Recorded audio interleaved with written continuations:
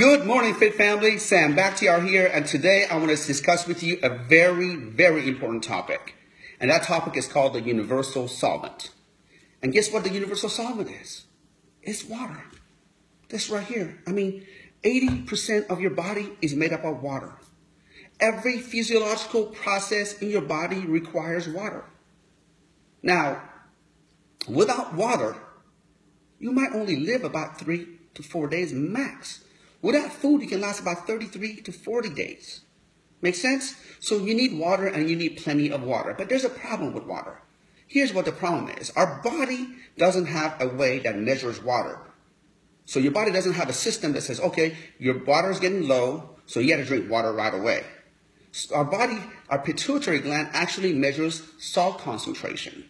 So by the time it measures that your salt concentration has increased, then it sends a signal to your body and says, hey, our salt concentration increased. We got to bring it back down. So we need to drink water. But the problem with that is by the time your salt concentration increased, you're already dehydrated. That's why so many, we see so many people that pass out in the summer, but didn't even know they were dehydrated. Because hydration has a very poor mechanism of letting us know that we need hydration. Does that make sense? So that's why it is essential for you to drink water. Now, how much water do you ask? Well, here's how much water you need to drink. As far as I'm concerned, a rule of thumb is half of your body weight in ounces. So for example, if you're 200 pounds, then you need to drink 100 ounces of water. Now, to make it easy, I just tell everyone to drink a gallon of water. I mean, you know, that, that should pretty much cover it. But if you want to be very fancy, then measure it. You know, if you weigh 200 pounds, half you know, half, half of that is 100, so 100 ounces of water. Now, here's why water is important to the challenge and what we do. Because when you are working out, especially when you're doing what's called anaerobic exercise, anaerobic, you know, kind of resistance training, weight training, you know, your body produces something called lactic acid. Acid.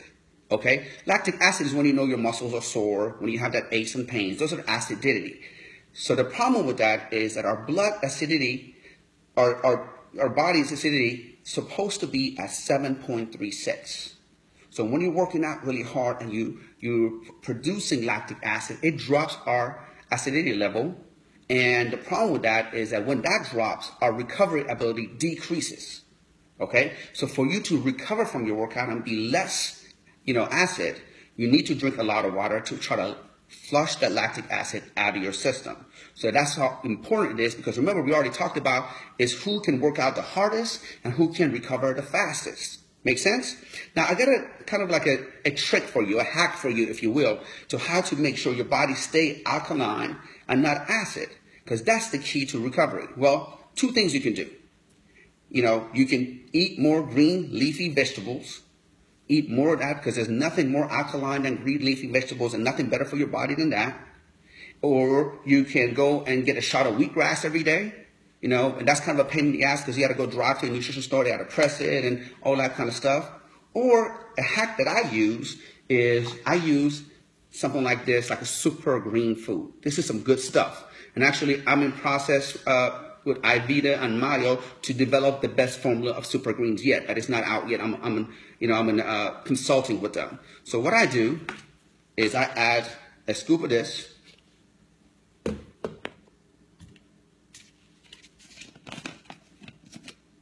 To a bunch of water. I'm talking about 24 ounces of water. Every morning